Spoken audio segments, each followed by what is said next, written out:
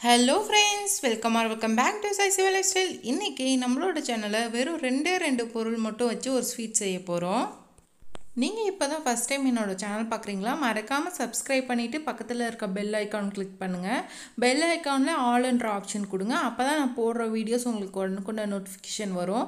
வாங்க இப்போ வீடியோக்குள்ளே போகலாம்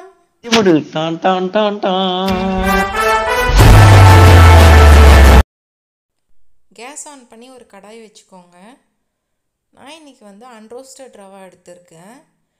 அதனால் லைட்டாக வறுத்துக்கிறேன். நீங்கள் ரோஸ்டட் ரவாவாக இருந்தால் லைட்டாக சூடு பண்ணால் போதும். நான் இது ரெண்டு நிமிஷம் போல் மீடியம் சிம்மில் வச்சு ஹீட் பண்ணிக்கிறேன். அதாவது வறுத்துக்கிறேன். நான் இன்றைக்கி ரெண்டு கப் ரவா எடுத்திருக்கேன்.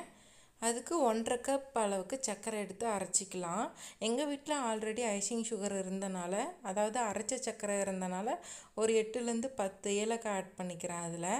ஏலக்காய் ஆட் பண்ணி நல்லா பிளெண்ட் பண்ணி எடுத்துக்கலாம். நீங்கள் ஒன்றரை கப் அளவு சர்க்கரை போட்டு அதில் எட்டுலேருந்து ஒன்பது ஏலக்காய் போட்டு அரைச்சிக்கோங்க. நான் ஆல்ரெடி அரைச்ச சர்க்கரைன்றதுனால அதிலே போட்டு அரைச்சிக்கிட்டேன். அரைச்சி எடுத்துகிட்டு வந்துடுறேன்.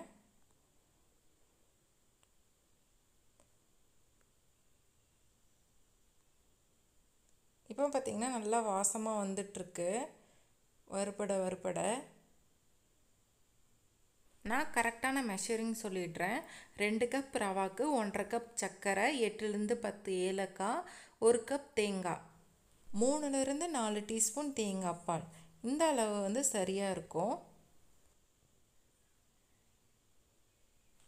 இப்போ இதை ஒரு பிளேட்டில் ட்ரான்ஸ்ஃபர் பண்ணிடலாம்.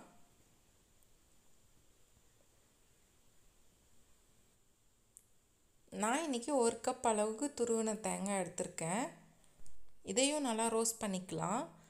நீங்கள் தேங்காய் பால் வந்து கால் டம்ளர் போல் எடுத்து வச்சுக்கோங்க.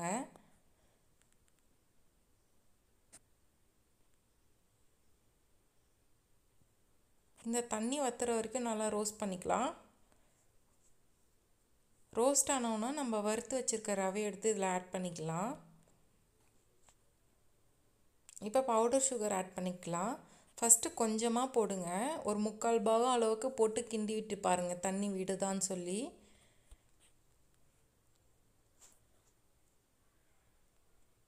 எனக்கு பார்த்திங்கன்னா தண்ணி விடலை. அதனால் நான் முழுசாக ஆட் பண்ணிக்க போகிறேன்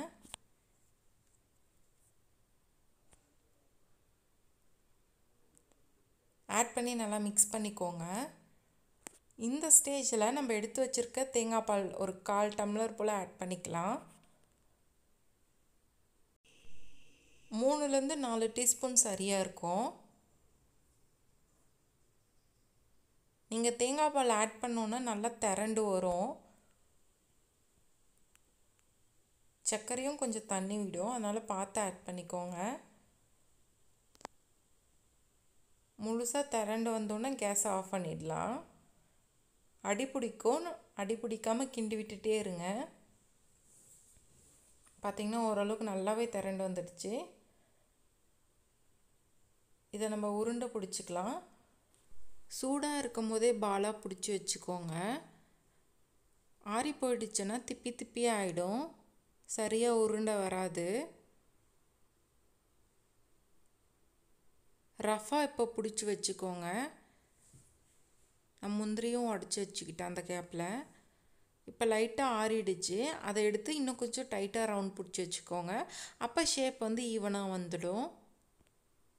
இப்போ பார்த்தீங்கன்னா ஓரளவுக்கு நல்லா வந்துடுச்சு. இதே போல் ஆறு ஆறு ரவுண்ட் பிடிச்சி வச்சுக்கோங்க. அவ்வளோதான் சூப்பரான ஸ்வீட் ரெடி ஆகிடுச்சு நீங்களும் இதே போல் உங்கள் வீட்டில் ட்ரை பண்ணி பார்த்துட்டு என்னோட கமெண்ட் செக்ஷனில் ஷேர் பண்ணுங்கள் எப்படி வந்ததுன்னு சொல்லி. இதே போல் இன்னும் நிறைய வீடியோஸ் நம்மளோட சேனலில் காத்துட்ருக்கு என்னோடய வீடியோ நீங்கள் மிஸ் பண்ணாமல் பார்க்கணுமா? மறக்காமல் என்னோடய சேனலுக்கு சப்ஸ்கிரைப் பண்ணி பக்கத்தில் இருக்க பெல் ஐக்கானில் ஆளுன்னு கிளிக் பண்ணிக்கோங்க.